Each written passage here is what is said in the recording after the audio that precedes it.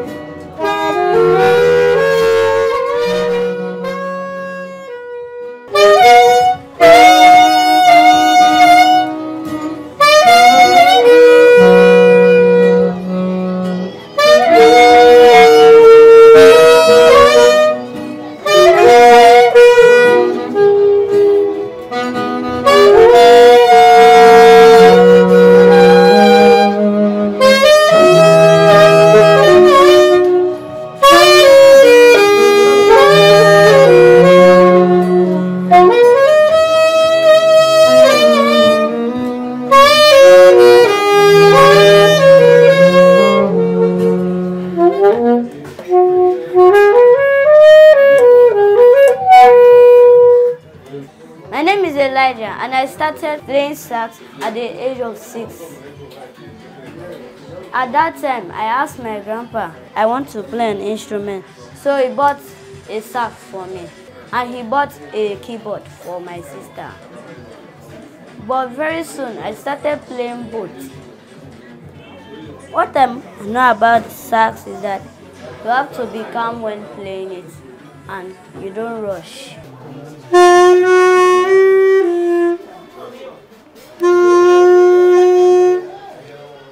I started playing sax at the age of six. My grandfather bought this sax at the age of six for me. I started playing it and now I can play. I thank my grandfather. I'm happy to be here with them. I started off with Nya Sax when he visited me when I was uh, the Nigerian High Commissioner in Uganda. Wanting something to, for him to fill his time as a young man, I bought him a sax. As the days went by, I found out that he was very good at it. So when her sister also got to the year, was five years old, I also bought her one. And she's doing very well with it also.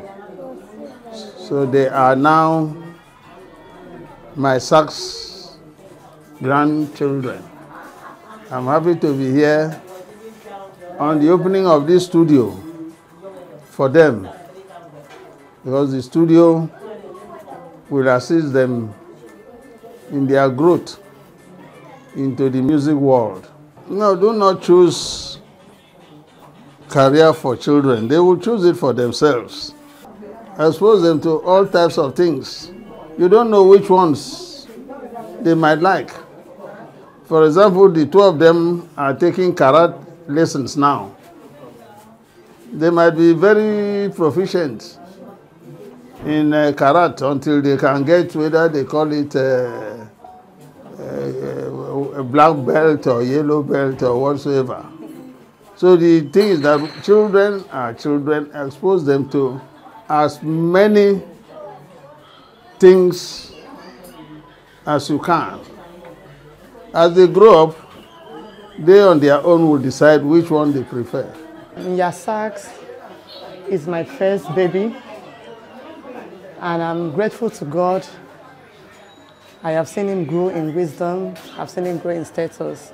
Nyasax happened to have this passion right from when he was five with the help of his grandpa. I realized when he was quite young, as five, anytime are getting him a toy, he will always want an, a musical instrument. Maybe a keyboard that is a toy keyboard, a toy uh, guitar, a toy saxophone.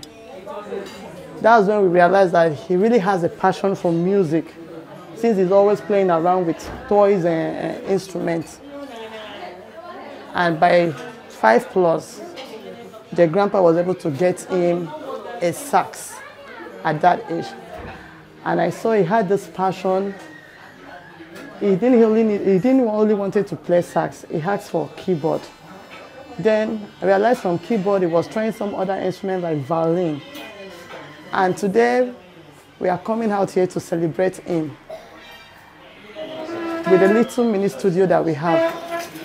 I'm praying for God to take him to higher level in his life. I happen to be your sax, sax tutor.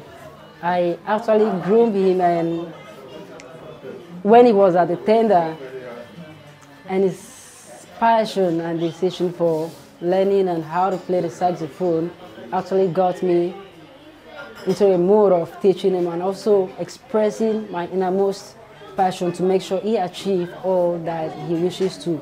It is a special day. The day the Lord has made.